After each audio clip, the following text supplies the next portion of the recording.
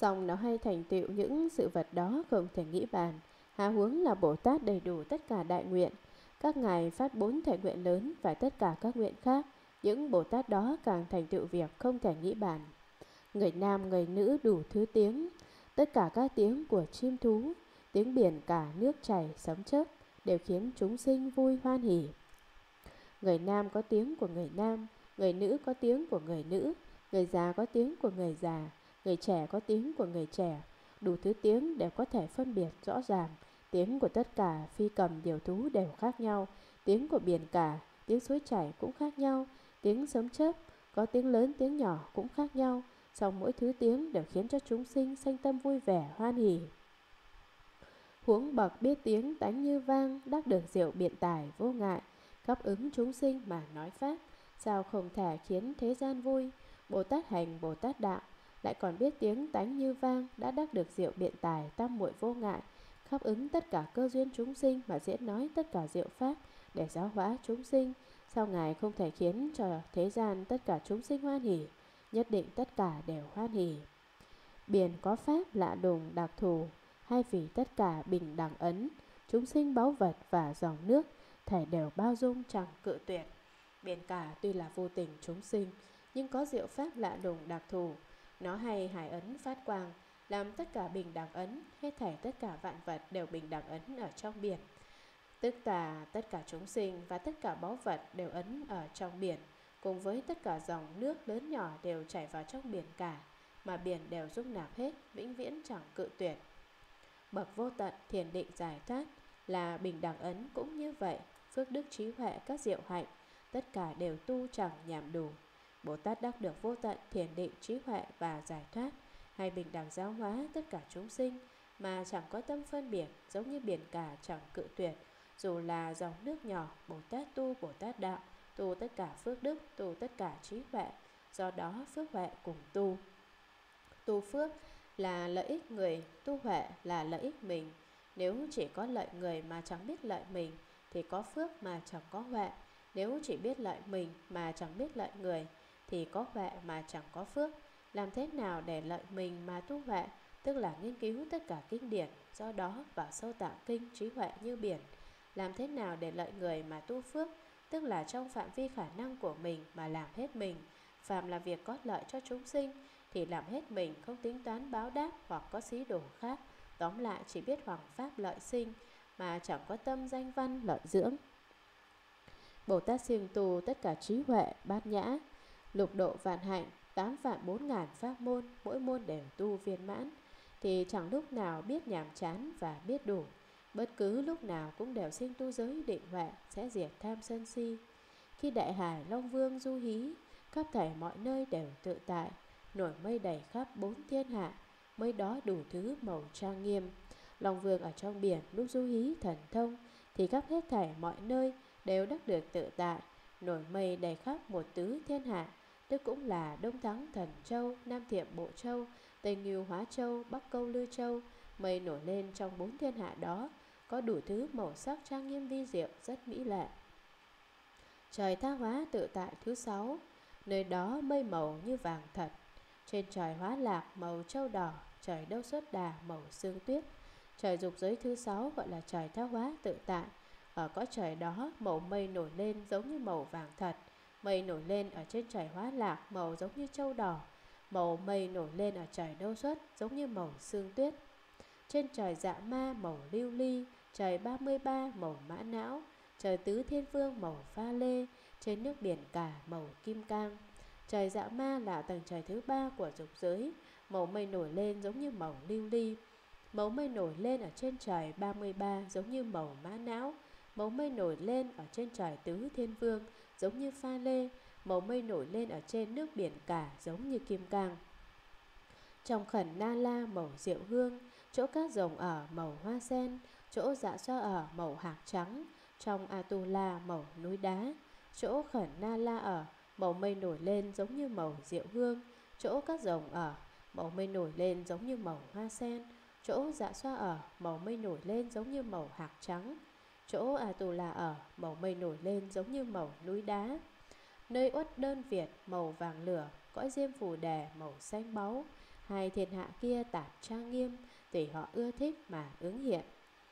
Nơi Bắc Cầu Lư Châu, Màu mây nổi lên giống như màu vàng lửa. Nơi Nam Thiệm Bộ Châu, Màu mây nổi lên giống như màu xanh báu. Đông Thắng Thần Châu và Tây Nghiêu Hóa Châu, Hai nơi này màu mây nổi lên là màu tạp trang nghiêm đó đều là tùy thuận sự ưa thích của chúng sinh Mà ứng hiện ra các thứ mây màu sắc khác nhau. Và lại trời tha hóa tự tại, Trong mây chớp sáng như nhật quang, Trên trời hóa lạc như nguyệt quang, Trên trời đâu xuất vàng diêm phủ Đại Hải Long Vương có đại thần thông, Nổi mây lớn khắp nơi, Màu sắc của mây đều khác nhau, Lại hiện ra đại quang minh khắp mọi nơi. Trong mây của trời tha hóa tự tại, Ánh chớp sáng giống như ánh nắng mặt trời trong mây ở trên trời hóa lạc Chớp sáng giống như ánh sáng mặt trăng. Trong mây trên trời đâu xuất, Ánh chớp sáng giống như ánh sáng vàng cõi diêm phủ. Trên trời dạ ma màu kha tuyết, Trời 33 màu vàng lửa, Trời tứ thiên vương màu các báu, Ở trong biển cả màu châu đỏ. Trong mây ở trên trời dạ ma, Ánh chớp sáng giống như màu kha tuyết. Trong mây ở trên trời 33 Ánh chớp sáng giống như màu vàng lửa trong mây trên trời tứ thiên vương, Ánh chớp sáng giống như màu các báu. Trong mây ở trong biển, Chớp sáng giống như màu châu đỏ. Cõi khẩn na la màu lưu ly, Chỗ long vương ở màu bảo tạng, Chỗ dạ xoa ở màu pha lê, Cõi Atula màu mã não. Chỗ của khẩn na la ở Trong mây ánh chớp là màu lưu ly, Chỗ của long vương ở Trong mây ánh chớp là màu bảo tạng, Chỗ của dạ xoa ở trong mây ánh chớp là màu pha lê Chỗ của Atula ở ánh chớp là màu mã não. Cõi uất đơn Việt màu hòa châu Trong diêm phủ đề màu đế thanh. Hai thiên hạ kia tạp trang nghiêm Như màu sắc mây chớp cũng vậy. Ở Bắc Cầu Lư Châu Trong mây chớp sáng là màu hòa châu. Cõi Nam Thiệm Bộ Châu Trong mây chớp sáng là màu đế thanh. Ở Đông Thắng Thần Châu và Tây Nghiêu Hóa Châu trong mây hai châu đó, chớp sáng là màu sen tạp trang nghiêm, giống như màu sắc của mây, tùy thuận tâm ưa thích của chúng sinh mà hiện ra đủ thứ màu chớp sáng. Tha hóa sớm nổ như phạm âm, trong trời hóa lạc tiếng trống trời, trên trời đâu xuất tiếng ca sướng, trên trời dạ ma tiếng thiền nữ. Màu mây do đại hải Long Vương nổi lên, màu chớp sáng cho đến tiếng phát ra đều khác nhau, do đó trên thế giới vạn sự vạn vật đều đang diễn nói diệu pháp, Nói nhân quả người tại sao làm người Chó tại sao làm chó con người là do trong quá khứ Làm việc người cho nên làm người. Chó là do trong quá khứ Làm việc chó cho nên làm chó. Các loại khác cũng cùng đạo lý ấy. Chúng ta người tu hành phải biết rõ nhân quả, Không thể sai nhân quả. Nhất định phải tin nhân quả báo ứng Là chuyện thiên chân vạn thật, Tơ hào chẳng sai. Nên nhớ không thể tùy tiện nói thị phi bậy bạ Hoặc không giữ quy củ, Đó là sai nhân quả. Từng là nhất định sẽ đọa vào địa ngục, chẳng nghi ngờ gì hết. Tiếng sấm ở trên trời tha hóa tự tại, giống như tiếng phạm âm, tiếng sấm ở trên trời hóa lạc như tiếng trống trời, tiếng sấm ở trên trời đâu xuất như tiếng ca sướng, tiếng sấm trên trời dạ ma như tiếng thiền nữ.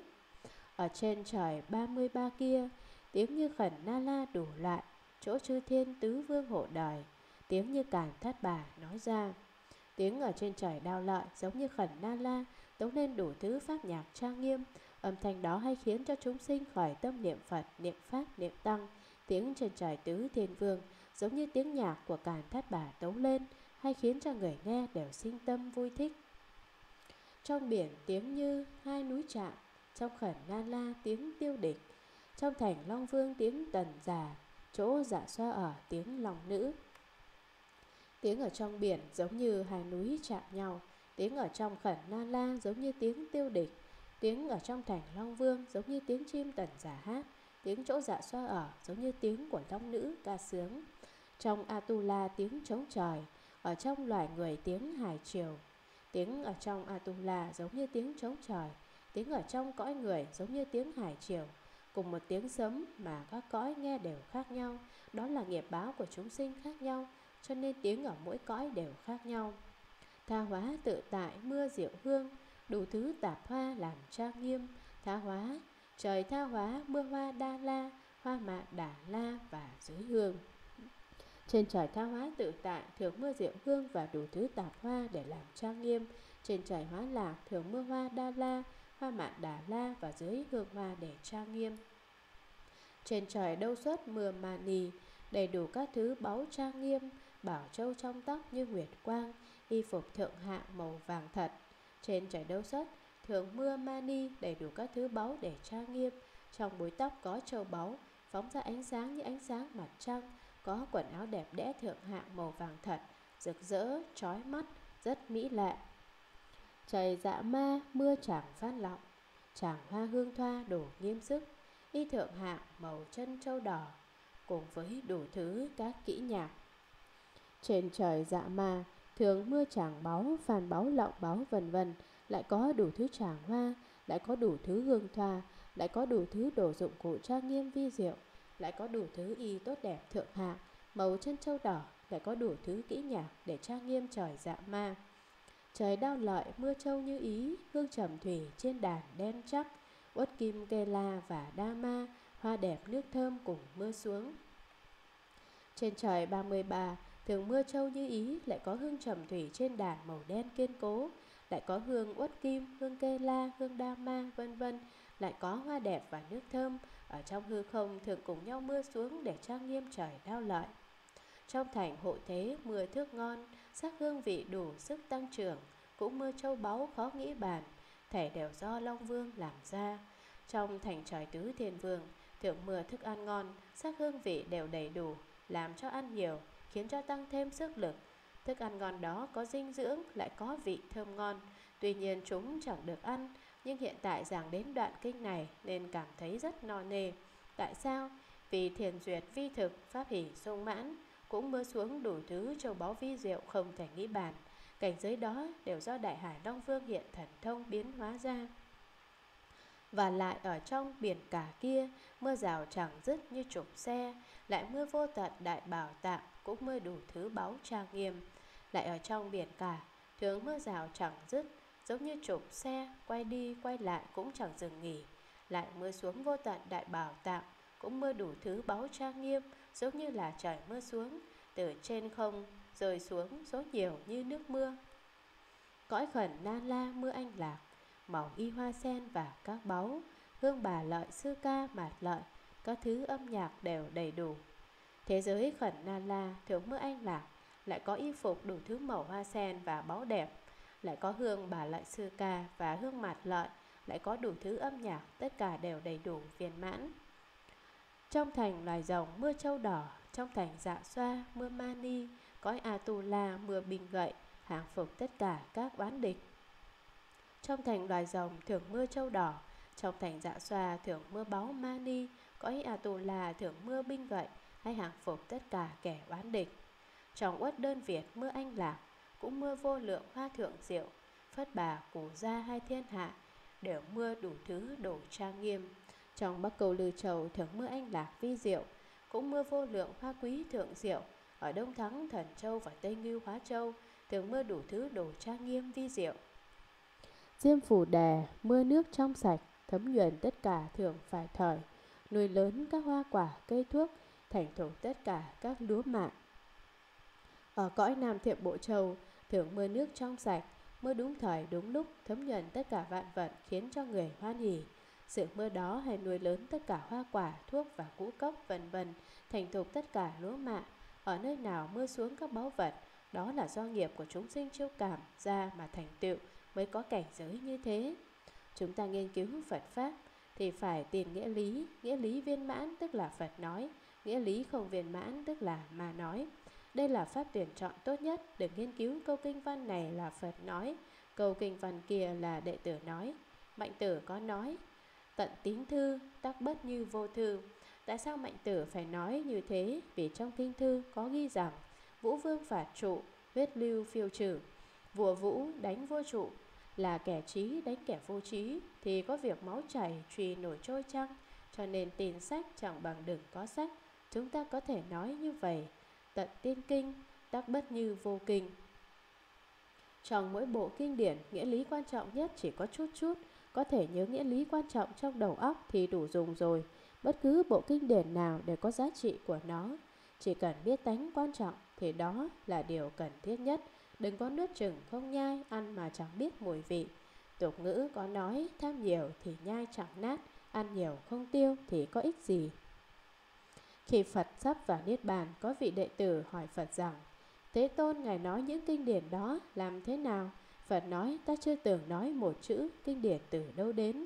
Phật nói Pháp 49 năm, hơn 300 hội, sao lại chẳng nói một chữ?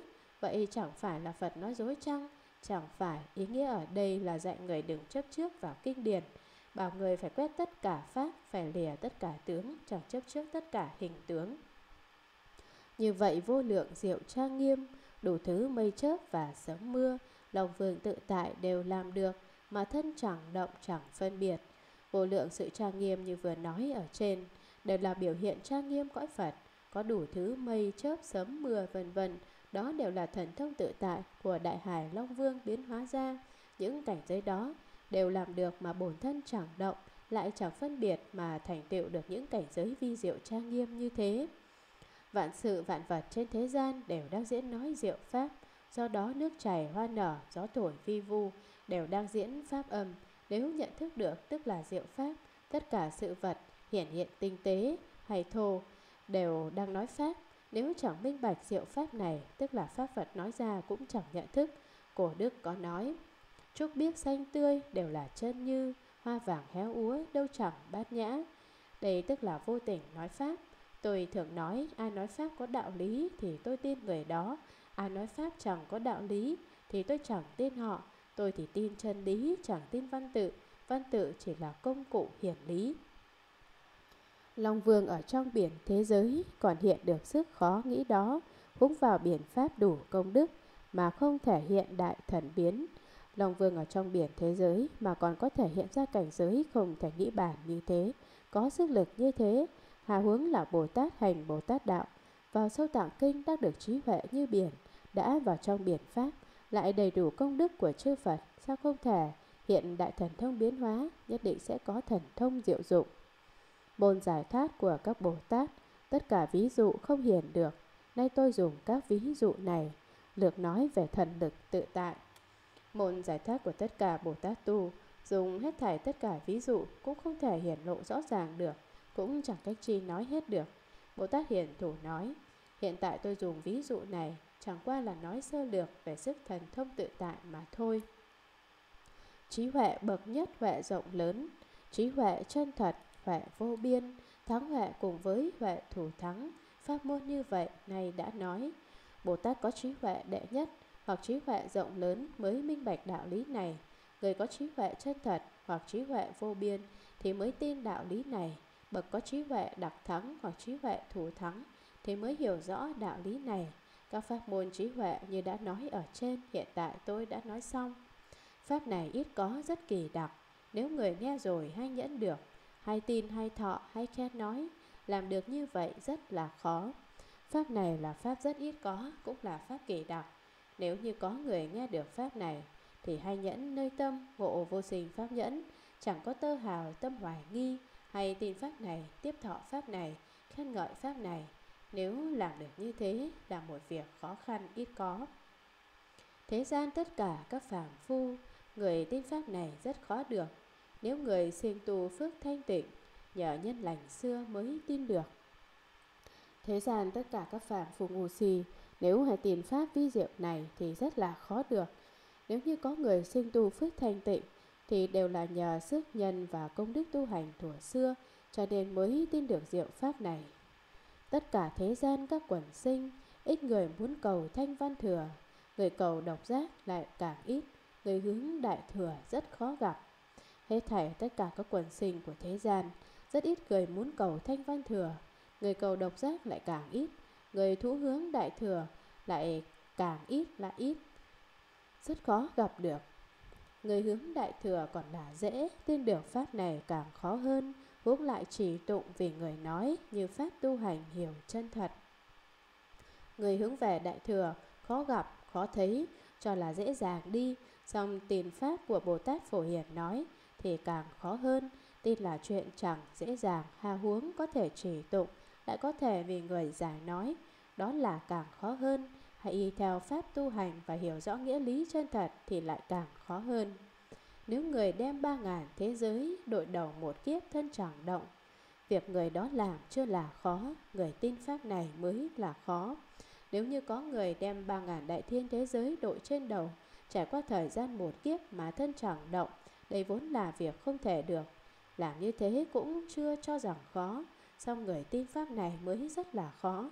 Vì đạo lý kinh hoa nghiêm mà Bồ Tát Phổ Hiền nói quá vi diệu, cho nên khiến cho người không thể tin được.